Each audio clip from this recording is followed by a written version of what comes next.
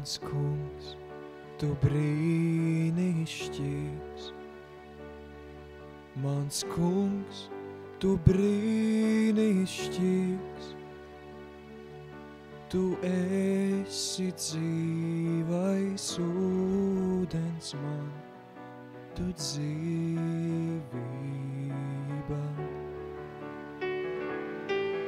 Mans kungs, tu brīnišķīgs. Mans kungs, tu brīnišķīgs.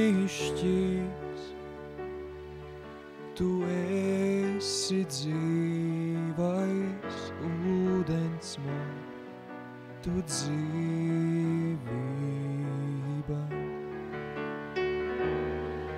Mans kungs, tu rūpējies.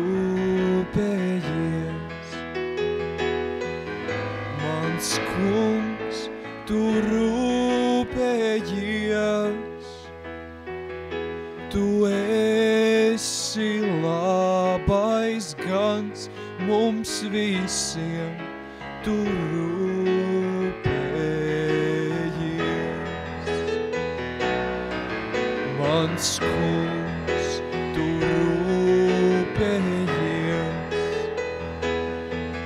Mans kungs, tu rūpējies. Tu esi labais gans mums visiem,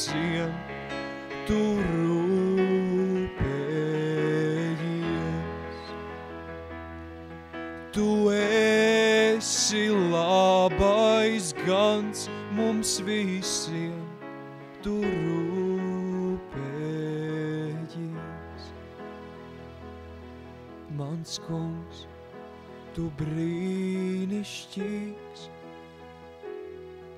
Mans kungs, tu brīnišķīgs.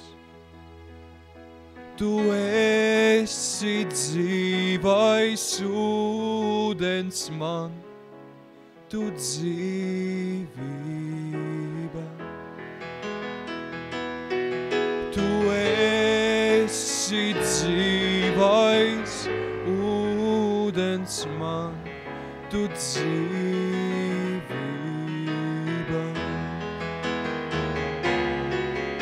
Mans kungs, tev pateicos. Mans kungs, tev pateicos. Paldies, ka mani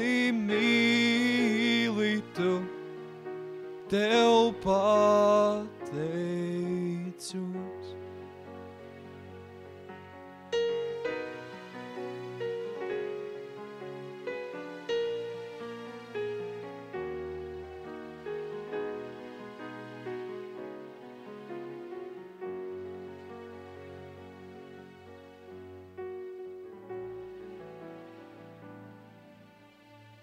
Dievs mīlestība liek pestīt mani, Dievs mīlestība, Viņš mani mīl. Tad saku vēlreiz to, Dievs mīlestība, Dievs mīlestība, Viņš mani mīl. Tad saku vēlreiz to, Dievs mīlestība, Dievs mīlestība, Viņš mani mīl.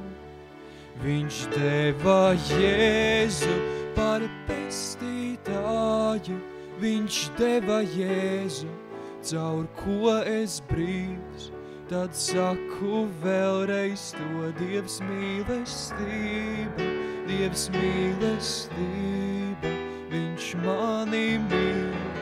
Tad saku vēlreiz to Dievs mīlestība, Dievs mīlestība, Viņš mani mīl.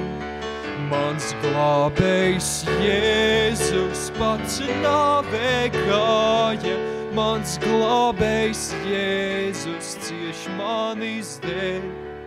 Tad saku vēlreiz to Dievs mīlestība, Dievs mīlestība, viņš mani mīl. Tad saku vēlreiz to Dievs mīlestība, Dievs mīlestība, viņš mani mīl.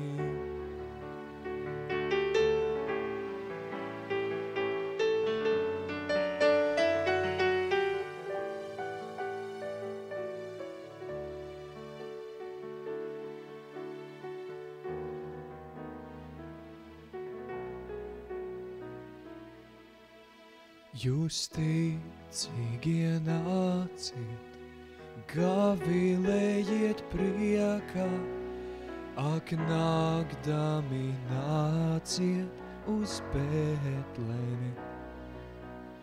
Redziet šo dēlu, kas priekš mums ir dzīvis, ak nāciet viņu pielūgt. Ak, nāciet viņu pielūgt, ak, nāciet viņu pielūgt šo ķēniņu. Ak, nāciet viņu pielūgt, ak, nāciet viņu pielūgt, ak, nāciet viņu pielūgt šo ķēniņu. Klau eņģeļu dziesma, atskan debes tālēs, vien vienīgam Dievam gods augstībā. Vien kopus visi teiksim viņam slavu, ak nāciet viņu pielūgt, ak nāciet viņu pielūgt, ak nāciet viņu pielūgt šo ķēniņu.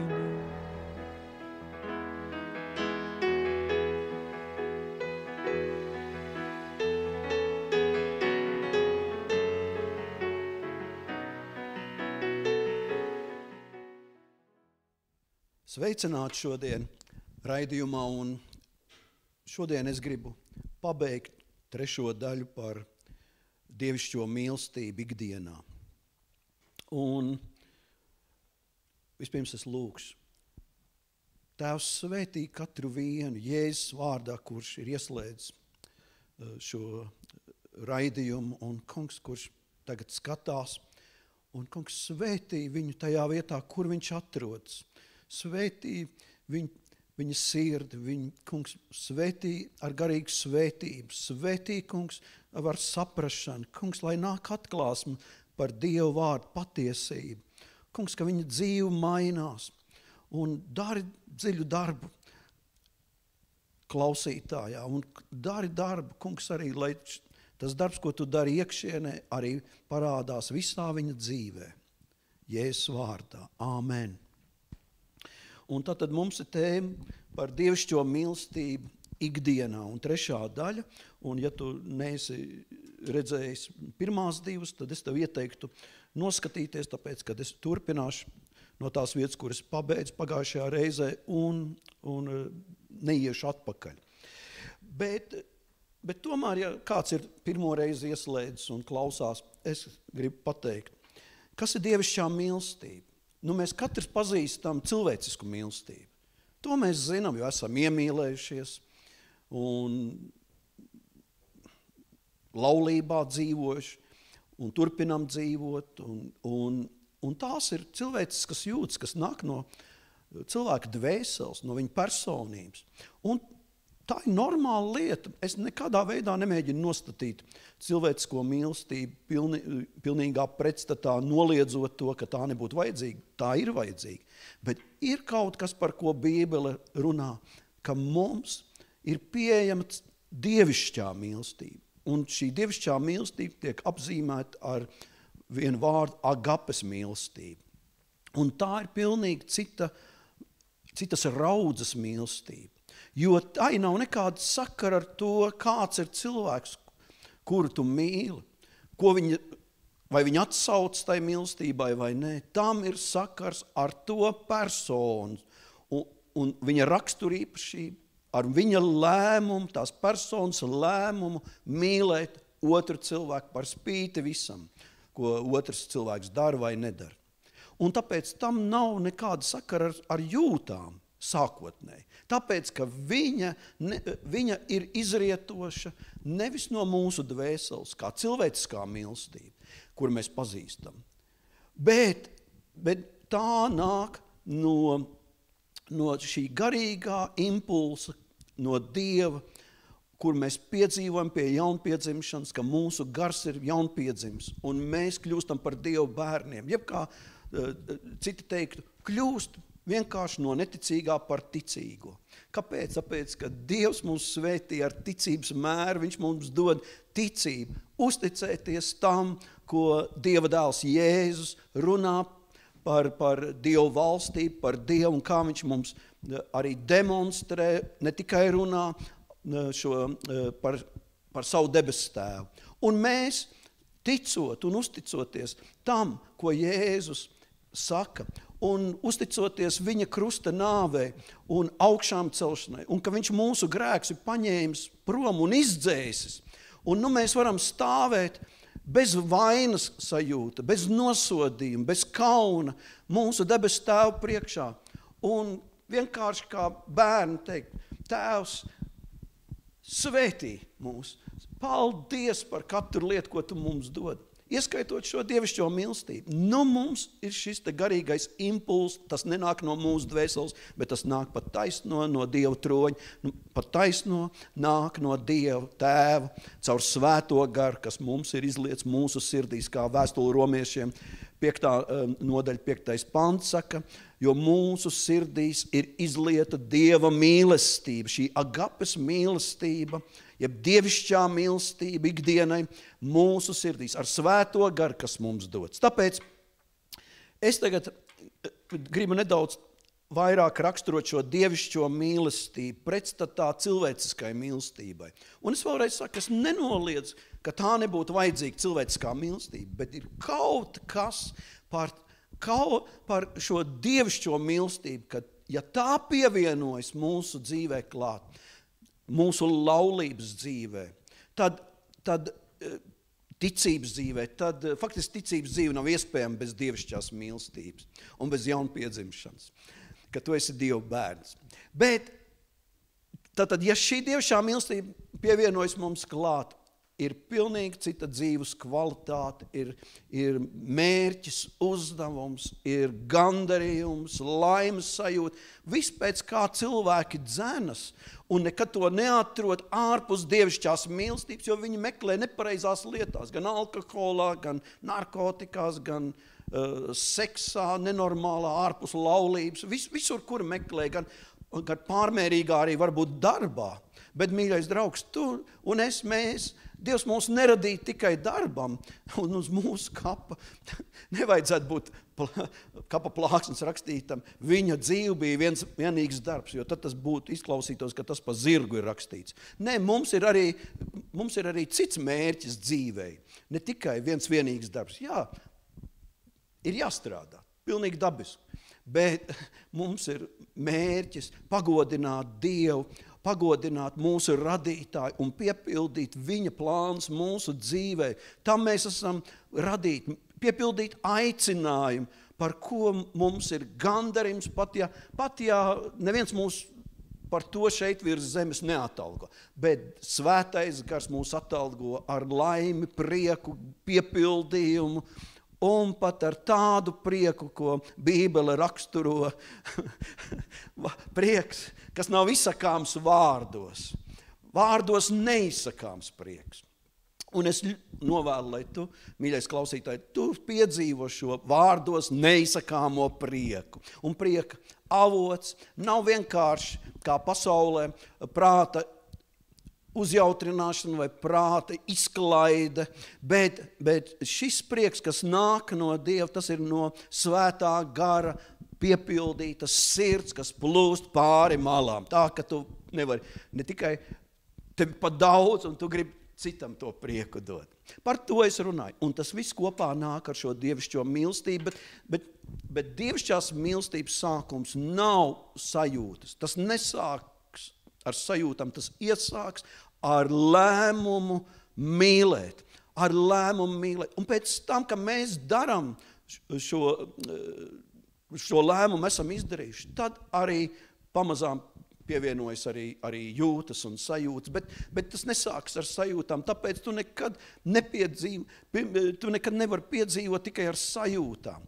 Bet tas ir lēmums mīlēt. Un, un, un pats sākums šeit, lai piedzīvotu dievišķo mīlestību, tev ir jātic tas, ko Dieva vārds saka, ka tik ļoti Dievs pasauli mīlējis, ka viņš sūtīja savu vienpiedzimušo dēlu, lai neviens, kas viņam tic, nepazūst, bet saņem iegūt mūžīgo dzīvību. Un tā pasaules vietā tu vari ielikt savu vārdu. Tik ļoti Dievs tevi ir mīlējis, ka tevis dēļ deva savu dēlu. Nevis, ka mēs, mēs būtu pirmie Dievu mīlējuši, bet Dievs šī svētā, mīlestības pilnā persona debesīs, visa radītājs, visa pārvaldītājs, ka mēs Vienu dienu mēs viņu redzēsim, vaigu vaigā.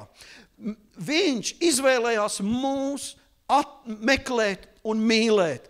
Vispirms mīlēt, un tad meklēt, un pat atdot savu dēlu mūsu dēlē, mēs iegūtu sadraudzību ar viņu. Tik mīlošs ir mūsu debesu tēvs. Un, un tāpēc mīlestības šīs dievišķās mīlestības ikdienā uh, sākums ir tas, ka tu pats piedzīvo šo dievišķo mīlestību priekš sevis, uzticoties Dievu vārdam un sevi atverot šai dievišķai mīlestībai caur svēto garu.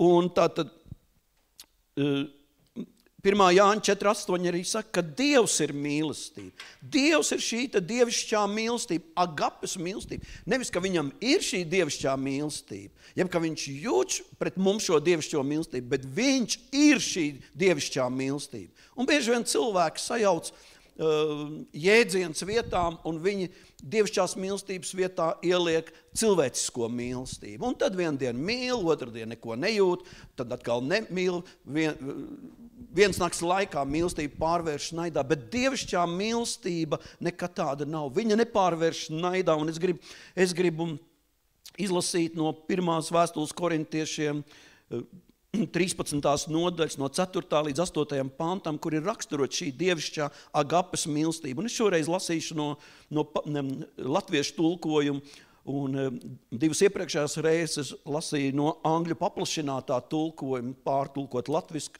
latviešu valodā, ja tu gribi dzirdēt paplašināto angļu tulkojumu, eh, latviskotu, tad eh, pa, paskaties iepriekšējā video, otru, pirmo un otro daļu. Bet tātad pirmā vēstule korintiešiem 13. nodaļa saka, mīlestība ir lēnprātīga, mīlestība ir laipna, tā neskauž, Mīlestība nelielās, tā nav uzpūtīga, tā neizturas piedaudzīgi, tā nemeklē savu labumu, tā neskaistas, tā nepiemin ļaunu, tā nepriecājas par netaisnību, bet priecājas par patiesību. Tā apklāja visu, tā tic visu, tā cer visu, tā panes visu. Dievišķā mīlestība nekad nebeidzas. Ja viņā, dievišķajā mīlestībā nav augšā, lejā, jo viņa nav balstīta sajūtās. Sajūtas var pievienoties, bet viņa, tas ir izdarīts sirdī lēmums mīlēt. mīlēt. Un, un tas nāk tāpēc, ka mēs esam iepazinuši, cik ļoti Dievs Tēvs mūs ir mīlējis. Un kad tu sāc piedzīvot dievišķo mīlestību, tad tad nav vietas vairs cilvēciskai, egoistiskai mīlestībai, kura tad viņa ir, tad viņa nav, tad ir apnikums iestājies, kurai vienmēr vajag kaut kāds jauns kairinātājs un uzjau, uh, iepriecinātājs. Bet dievišķā mīlestība ir konstanta. Tā ir bez nosacījuma. Tur vienalga, ko tas cilvēks dara, mēs mīlam. Un, un dievišķā mīlestība mūs, mūs arī kontrolē, mūs vada, mūs pamāca. Tieši tāpat kā mēs savus bērnus pamācām, tā arī mūsu debesu tēvs mūsu dievišķajā mīlestībā pamāca, jo, jo, jo debesu tēvs grib to labāko, lai mūsu dzīves atnes jau šeit virs zemes, kur vēl vairāk mūžībā, to labākos rezultātus, kam Dievs mūs ir um, ļāvis nākt pasaulē un uzturējis. Un tālūk šī dievišķā mīlestība ir tā tad viņa motīvs mūsu sirdīs. Tas ir motīvs mūsu sirdī. Kas tevi motivē iet strādāt? Kas tevi motivē eh, kustēties? Kas tevi motivē dzīvot? Kas tevi motivē kaut ko labu darīt, jēdzīgu? Kas tevi motivē? Motīvs nosaka visu. Un Dieva valstībā tieši tāpat, ja, ja mūsu sirdīs ir dievišķais motīvs, tad viss, ko mēs darīsim, būs pareizs. Un, un šī dievišķā mīlestība, tā tad nu, staigāt, jeb dzīvot dievišķajā mīlestībā, ir ciešā saistībā ar svētā gara darbu mūsos. Un vienīgi atzīmes gars spēj staigāt šajā dievišķajā mīlestībā. Tas, kurš ir jaunpiedzimis cilvēks. Un Jēzus arī teica, savā vārdā viņš teica, trešajā nodaļā Jāņa evaņģēlijā, ka viņš teica, tev jāpiedzimst no augšienes. Tā ir jaunpiedzimšana.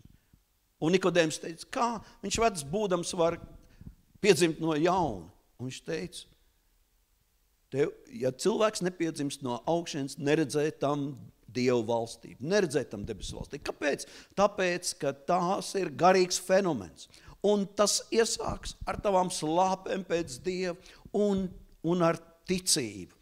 Un, un e, ja tu ar savu muti apliecinās Jēzus par kungu un savā sirdī ticēs, ka Dievs viņu piecels no mirušiem, tu tiksi pestīts, jo ar sirds ticību panākam taisnību un ar mutes liecību, jeb runāšanu, ka viņš ir mans kungs un mans pestītājs, panākam pestīšanu. Tā iesākas ticība. Un es raidījuma beigās arī došu iespēju pieņemt jēzu par savu kungu un glābēju un arī, un arī, uh, un arī atjaunot. Varbūt kādam ir vajadzīga atjaunošana tavā staigāšanā ar to kungu. Un tā tad uh, šī agapes mīlestība ir rīcība, un to atpazīst pēc rīcības. Motīvs ir šī dievišķā mīlestība, šis lēmums mīlēt bet tā ir darbība. Viņu atpazīst pēc darbības, pēc rīcības, ja pēc ticības darbiem. Mēs arī reizēm sakām pēc mīlestības darbiem. Un, un tā tad šī agapas mīlestība palīdz mums garīgi augt un darīt to, kam Dievs mūs ir aicinājis. Un šī agapas mīlestība izlieta mūsu sirdīs, arī ieraudzīs citus cilvēkus kā vērtīgus. Neaizmirst, ka Dievs tevi un mani, kur viņš ir glābis, viņš mūs ieraudzīja kā vērtīgs. Nevis tāpēc, ka mēs paši par sevi kaut ko brīnišķīgu būtu darījuši, vai spētu uh, labi domāt vai darīt, bet, bet viņš par spīti tam, ka varbūt mēs nedarījām labi, Viņš izvēlējās mūs mīlēt un mums piedot. Mums piedot Jēzu Kristu. Jēzus upura dēļ, ko Jēzus cieta par mūsu grēkiem pie krusta Golgātā. Un tātad agaps mīlestība ir darbība, rīcība, un to atpazīst pēc rīcības, ko tā pamudināja ticīgā sirdī. Un viņa palīdz mums garīgi augt un darīt to, kam Dievs tevi ir aicinājis. Un arī citus ieraudzīt, ka Dievam ir priekš viņiem brīnišķīgs aicinājums. Un viņi varbūt ļoti tālu atrodas no tā aicinājuma, bet Dievs viņus aicina un sūta kādus, viņiem par to atgādināt un, un, eh, un palīdzēt viņus stiprināt ticībā un tai ceļā eh, uz savu aicinājumu. Un tāpēc garīgs briedums ir sasniedzams tikai caur uh, stāv, turpinošu staigāšanu dievišķajā mīlestībā ikdienā. Un ko nozīmē staigāšana? Staigāšana nozīmē katru dienu, pat daudzas reizes dienā mēs izdarām nopietnus lēmumus savā dzīvē. Ko mēs darīsim, kam mēs uzticēsimies, uh, ko mēs sacīsim un tā tālāk, un kā mēs attieksimies. Un tas ir vai nu darīts aiz egoistiskas mīlestības, cilvēciskas mīlestības, vai aiz uh, dievišķās mīlestības. Un aiz dievišķās mīlestības izdarīti lēmumi ir ļoti, ļoti uh, svarīgi. Un garīgs briedums ir sasniedzams, ja mēs turpinoši staigājam dievišķajā mīlestībā. Un arī caur pakļaušanos Dievam, svētajam garam un uh, Dievu vārdam un paklausotam. Un arī tā, tas, cik ļoti tu esi garīgi izaudzis, jeb nobriedzis, par to runā tava agapes, jeb dievišķās mīlestības staigāšana. Tas ir tas mērs, cik tu, tu esi garīgi izaudzis. Un, un es drusciņi e, lasīšu tagad no 103. psalma. Un kāda tad ir šī dievišķā mīlestība? Un par to tiek rakstīts 103. psalmā no 2. panta. Teic to kungu man dvēseli un neaizmirsti, ko viņš tev labu darīs. Viņš piedod visus tavus grēkus un dziedē visas tavas vainas. Viņš izglāb tavu dzīvību no pazudināšanas un vainago tevi ar mīlestību un žēlstību. Viņš vainago mūs ar mīlestību un žēlstību. Dievu, ar šo dievišķo mīlestību, kur ir izlieta caur svēto garu mūsu sirdīs Un Dievs nāk un mūsos iemājo caur svēto garu un atnes mums e, debesu valstības realitāti. Un arī ar žēlstību viņš mūs vainago. Un kas tad ir Dieva žēlstība? Dieva žēlastība ir Dieva spējas mūsos padarīt to, ko mēs paši nespējam. Ne es varu sevi izmainīt, ne arī tu vari sevi izmainīt, bet Dievs var mūs izmainīt. Un kad mēs padodamies Dieva mīlestībai, tad mēs sākam piedzīvot, ka Viņš mūs maina no iekšienes uz āru. Viņš iesāk darbu dziļi iekšienē un sāk, un tad tas arī tās izmaiņas sāk parādīties ārienē. Redzi, reliģija ir cilvēka veltīgās pūles sasniegt Dievu ar saviem veidiem – un tas nekad nevar vainagoties eh, panākumiem, jo, jo vairāk tu dari tās lietas, cenšoties sasniegt Dievu, jo, jo tev liekas, ka Dievs tālāk attālins no tevis, un tu nokļūsti eh, zem nosodījuma un kritikas, paškritikas un kritizē citus. Tāpēc reliģijas, tāds reliģijas gars, viņš ir, viņš ir kritisks, viņš, viņš nevar saprast Dieva mīlestību bet Dieva mīlestība ir šeit aprakstīta 103. Eh, psalmā, ka viņš izglāb tavu dzīvību no pazudināšanas. Vispirms viņš, viņš, viņš tev labu dara. Viņa labestība, kā vienā dziesmā slavēšanas ir, tava labestība skrien, jā, līdzās man tā skrien. Un viņa tiešām skrien. Labums un žēlstība pavadīs mani visu manu mūža dienas, un es palikšu tā kunga namā vienmēr. Un tas ir teikt 23. psalmā, Dāvida psalms, un tas runā par palikšanu Dieva klātbūtnē. Ka tu vari stāvēt bez vainas un kaunas sajūtas un lūgt, ko, ko tu vēlies. Jo tu pazīsti viņa vārdu, pazīsti, cik ļoti viņš tevi mīl, tu esi iepazinis viņa mīlestību, un tu to arī sniedz citiem. Un tā tad vispirms viņš Viņš tev labu dara, viņa labestība un žēlstība tev pavada. Un tad viņš piedod visus tavus grēkus un dziedē visas tavas vainas, slimības. Un viņš izglāb tavu dzīvību no pazudināšanas. Tieši mums šajās dienās mums vajadzīga mūsu dzīvības izglābšana no pazudināšanas. Un tu vari nebaidīties, tāpēc, ka dievišķā mīlestībā nav baiļu. Tas, kurš baidās, viņš vēl nav paz, nepazīst dievišķo mīlestību, bet dievišķā mīlestība izdzen visas bailes, aizdzen projām, aizdzen projām. Un tad viņš saka, viņš tev vainago tevi ar mīlestību un žēlastību. Žē, mī, par dievišķo mīlestību mēs runājam, un kas ir žēlastība? To es arī teicu, bet žēlastība ir arī, tu varētu citiem vārdiem teikt, tas ir svaidījums, Dieva manifestētā klātbūtne. Tas ir, viņa žēlastība ir Dieva spēks. Tu vari ielikt arī žēlstībā Dieva spēku, Dieva pārdabisko spēku. Un, un eh, piektais pants saka, viņš bagātīgi iepriecina tevi vecumā ar ve svētīgām dāvanām, tā ka tava jaunība atjaunojas kā ēdlis. Šis ir mans vismīļākais pants, jo man, man ir sirma galva un, un gadi no, viņu nokrāsoši, bet, bet, bet šeit ir apsolījums, ka tieši vecumā viņš man iepriecinās ar svētīgām dāvanām, tā ka mana jaunība atjaunojas kā ērglis. Man tas patīk. Un, un, eh, ja tev vajag tavu jaunību atjaunot, tad eh, pārdomā šo Dievu vārdu un ielaid viņu savā sirdī, un Dieva žēlstība, Dieva spēks, Dieva manifestētā klātbūtne tevī darbosies.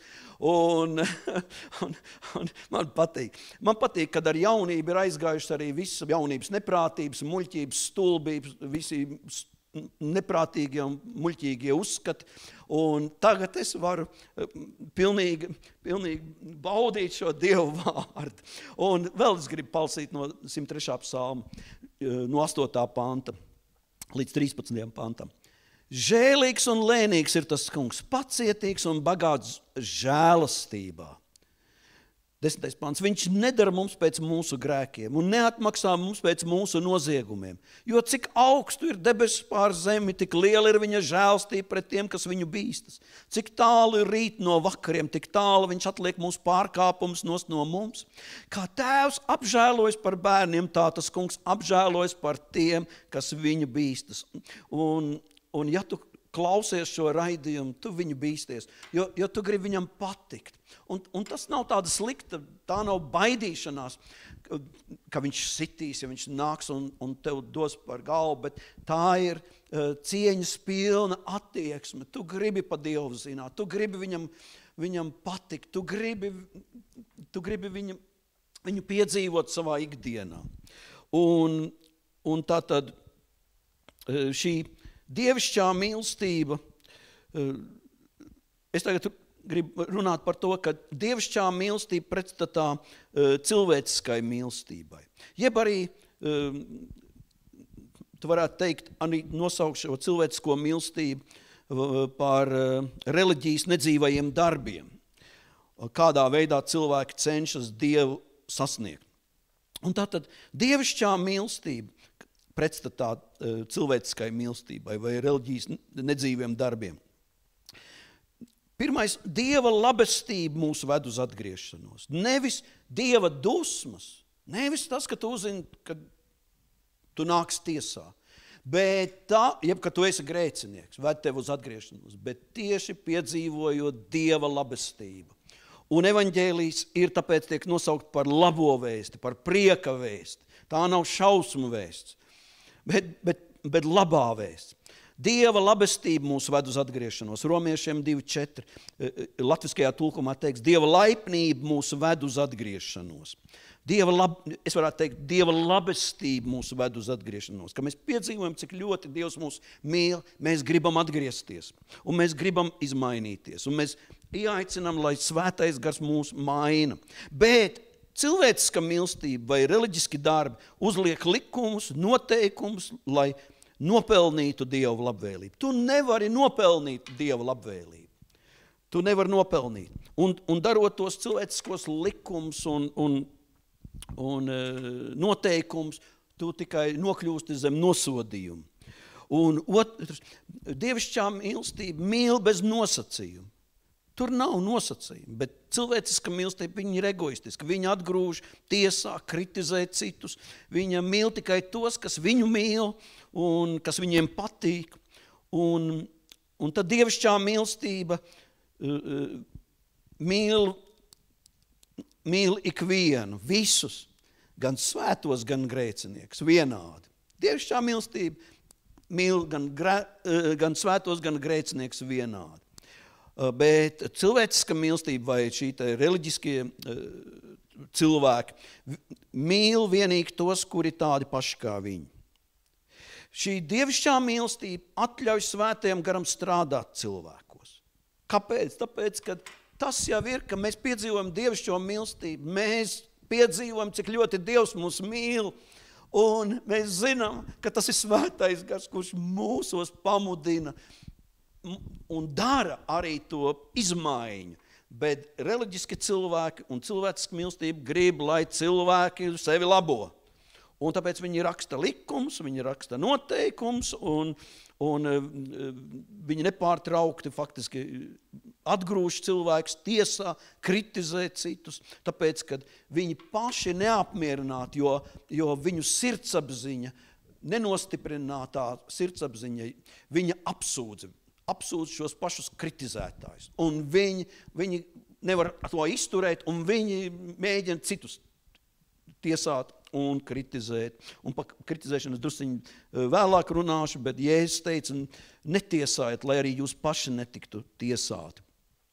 Šī dievišķā mīlestība, kā mēs redzējām un lasījām, ir pazemīga, lēnprātība. O, oh, bet cilvēciska mīlestība, jeb arī reliģija, viņa ir pilna lepnības. Viņa ir pilna lepnības. Viņa nevar beigt plātīties, cik daudz viņa zina un cik citi maz zina.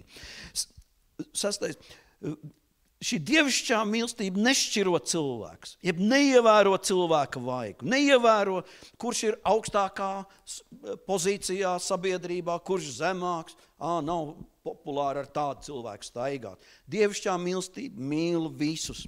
Un, bet cilvēciskā mīlestība šķiro cilvēks, uzlūko vienu augstāk par otru, mēģina radīt savu klubiņu, kur, kur tikai tādi kā mēs. Un viņa Viņa, ne, viņa atgrūž citus cilvēkus, kas viņai nepatīk. Šī dievišķā mīlestība mīl cilvēks tādu, kādi tie ir. Pieņem cilvēks tādu, kādi ir. Kāpēc? Tāpēc, ka viņa nemēģina saviem spēkiem, ne arī uzliek tam cilvēkam mainīties, bet viņa, viņa zina, ka piedzīvojot dievišķo mīlestību, tas Dievs caur svēto garu strādās tajā cilvēkā un viņš mainīsies viņš mainīsies. Un viņi ir pacietīgi, kamēr viņš mainās. Viņi neatgādina, viņam pagaidi, klausies, tu jau man te trīs mēnešus, kāpēc tu vēl nemainies? Ne? Viņa, viņa nekrat savu kaulaino reliģijas pirkstu. Un, un, bet, bet, bet cilvēciska mīlestība viņa mēģina cilvēks mainīt. Un šī dievišķā mīlestība, astotais, ir visus ietveroša. Visus ietveroša, bet, bet bet cilvēciska mīlestība, protams, ir uh, ekskluzīva, šķiriska. Tas ir par cilvēcisku un dievišķu mīlestību. Un, un uh, Bībele runā par sirds atziņu, par sirds zināšanām, bet ne par galvas zināšanu. Zināšanas galvā tevi tikai uzpauž, bet dievišķā mīlestība uzceļ un piepilda. Uzlādē tev ar dzīvības spēku. Un tāpēc, ja kas kritisks, kas pateikts otram bez tā atrisinājuma, ir tikai kriticisms. Tas nenozīmē, ka dievišķa mīlestība nevar konfrontēt. Dievišķa mīlestība spēja arī konfrontēt. Tieši tāpat kā mēs savus nepaklausīgos bērnus, kamēr viņi vēl ir mazi, mēs konfrontējam ar nepareizām uh, lietām, sakam, tā nevar darīt. Tur ir sots, tur ir disciplīna. Kāpēc? Tāpēc, ka mēs gribam, lai viņi izaug labi, lai viņi izaug ka viņi var atšķirt labu no ļauna. Viņi zina, ka tā nevar darīt, ka tur ir uh, sekas. Un, un, uh, un tāpēc, lai viņi neizdarītu vēlāk izauguši lieli uh, tāds nepareizs lēmums, kas uh, vai nu dzīves uh, pazudina, vai pat, uh, vai pat, uh, jā, pat nav, nav varbūt. Un tāpēc šī dievišķā mīlestība nenozīmē, ka tev vienmēr viss ir jāpacieš. Viņi arī spēja konfrontēt. Un, kā ir rakstīts mm, vēstulē ebrejiem 12. nodaļā, kad, kad mūsu debesu tēvs mūs mīl, un tāpēc viņš mūs pārmāca, jeb disciplinē. Un tur ir tālāk teiks, lai mēs paciešam šo disciplīnu. Tāpēc dievišķā mīlestība spēj disciplinēt. Un viņai ir jādisciplinē, tāpēc, ka viņi ir ieinteresēti gala rezultātā. Nevis īslaicīgā, kā es jutīšos, kā es jutīšos, ja es kādu disciplinēšu. Tas taču viņš dusmosies uz mani. Nē, tas ir domāt par otra labumu, nevis par īslaicīgu savu sajūtu, kā tad es jutīšos. Atceries, ka je, kā tad debesu tēvs jutās, ka viņš atdeva savu vienīgo dēlu. Un pat Jēzus pie krusta izsaucās: Mans Dievs, mans Dievs, kāpēc tu man esi atstājis? Redz, debes tēvs, viņš neskatījās, kā viņš jutīsies. Ja viņam būs jādod savus dēls nāvē mūsu dēļ. Un tieši tāpat dievišķā mīlestība spēja konfrontēt, bet viņa nav tiesājoša. Viņa nav tiesājoša. Un viņa, šī dievišķā mīlestība, iedrošina eh, tevi augt līdz pilnības mēram sasniegt garīgu briedumu. Un tāpēc viņa meklē to labāko, viņa tic to labāko otrā, viņa meklē priekš tā otra labāko. Nevis otrādi, ko tas otrs man spēs dot, kā viņš mani spēs pacelt. Bet tieši otrādi dievišķā mīlestības sniedz, kā viņš var to otru celt. Un lai otrs eh, garīgi briedumu var, var eh, tātad sasniegt. Un, eh, un, un vēl es izlasīšu par ka dievišķā mīlestība nav tā tad kritizējoša. Un Jēkab vēstule eh, otrajā nodaļā, 12. 13. pants saka, tā runājiet un tā dariet kā tādi, ko tiesās svabadības likums, jo tiesa ir bez žēlastības tam, kas neparāda žēlstības. Žēlstība nebēdā par tiesu. Un kas tas šeit ir teikts? Un šeit ir teikts, ka, eh, kad, ja tu nesaproti Dieva mīlestību, tad tu nesaproti neko. Tu nesaproti ne savu dzīvi, ne to, ko Dievs grib tavā dzīvē, faktiski ne bīb, arī Bībeli tu nesaproti. Jo mēs, jo mēs visi tiksim uh, tiesāti pēc mīlestības staigāšanas. Kā mēs dzīvojām un staigājam, staigājam šajā dievišķajā mīlestībā. Kādas lēmumus mēs izdarījām, balstoties uz dievišķās mīlestības principu. Pēc tā mūsu tiesās.